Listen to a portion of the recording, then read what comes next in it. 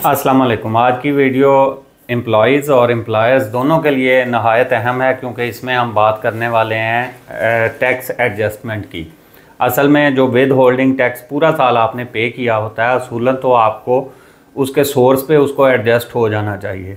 Business individuals क्या करते हैं कि उन्होंने जितना भी विद होल्डिंग टैक्स की सूरत में एडिशनल टैक्स सारा साल पे किया होता है तो जब अपनी फाइनल टैक्स रिटर्न वो भरते हैं तो उसमें एडमिटेड टैक्स में से वो टैक्स निकाल कर विद होल्डिंग वाला पोर्शन बकाया वो फ़ाइल कर देते हैं। लेकिन सैलरीड इंडिविजुअल्स के साथ क्या होता है कि उन्हें पूरा टैक्स अपनी सैलरी पे देना पड़ता है सोर्स के ऊपर। बेशक वो, उन्होंने पहले जितना भी इजाफी टैक्स पे क्यों ना किया हो। जैसे जब आप गाड़ी लेते हैं तो पचास हज़ार से लेकर पाँच लाख तक आपको विद होल्डिंग टैक्स की सूरत में देना पड़ता है।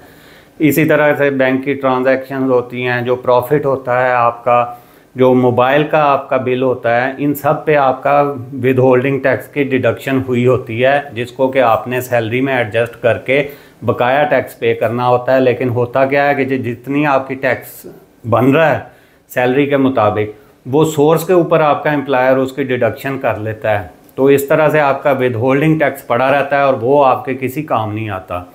जब इस बारे में कहा जाता है एम्प्लॉयर को तो वो भी यही कहते हैं और एफबीआर का भी यही मौक़ होता है कि आप इसको बाद में सेक्शन 170 इनकम टैक्स ऑर्डिनेंस 2001 के तहत बाद में इसका रिफ़ंड क्लेम कर लें। उसका बड़ा लेंथी प्रोसीजर होता है। तीन साल के बाद आप उसको अप्लाई कर सकते हैं। उसके ऊपर फिर कमिश्नर की अप्रूवल होती है और बड़ा वो कह लें कि ना देने वाली बात होती है। तो इन सारी चीज़ों को जाकर फिर चैलेंज किया गया इस्लामाबाद में फेडरल टैक्स उम्बड्समैन के सामने जब।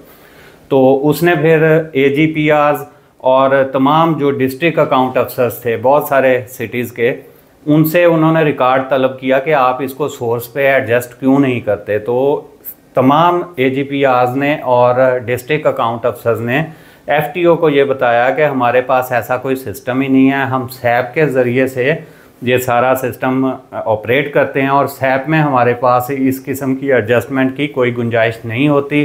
जितनी हम उसमें सैलरी इनपुट देते हैं, उसके मुताबिक खुद ही खुद ब खुद एवरेज उसकी जो टैक्स बन रहा होता है, वो डिडक्शन हो के बाकी की सैलरी अकाउंट्स में ट्रांसफ़र हो जाती है।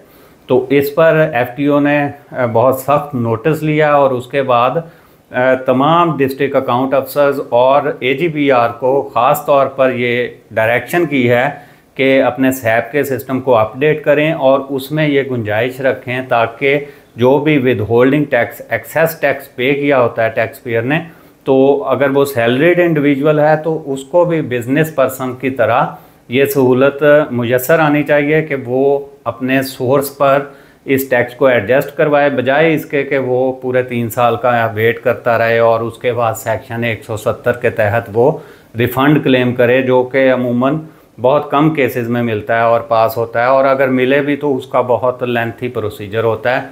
तो इसलिए आप सबने भी इस बात का ध्यान रखना है। नेक्स्ट टाइम अब क्योंकि टैक्स फाइलिंग हो रही है, आजकल स्टार्ट हो गई है तो अगर आपने पिछले साल में कोई गाड़ी वगैरह परचेज़ की है तो उस पर आप ऑलरेडी बहुत ज़्यादा टैक्स पे कर चुके हैं। यानी आपका हो सकता है कि आपने दो तीन साल का टैक्स उस गाड़ी के विद होल्डिंग टैक्स की मद में पे कर दिया हो।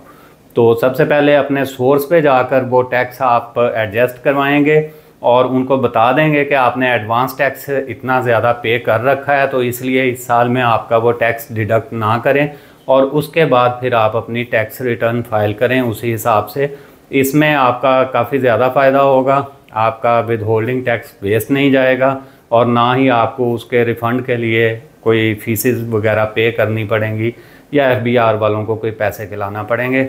इसके अलावा कुछ और इसी से रिलेटेड अपडेट्स हैं, वो मैं नेक्स्ट वीलॉग में आपके साथ शेयर करता हूँ। तब तक के लिए अपना ख्याल रखिएगा और अपने इस चैनल का अल्लाह हाफ़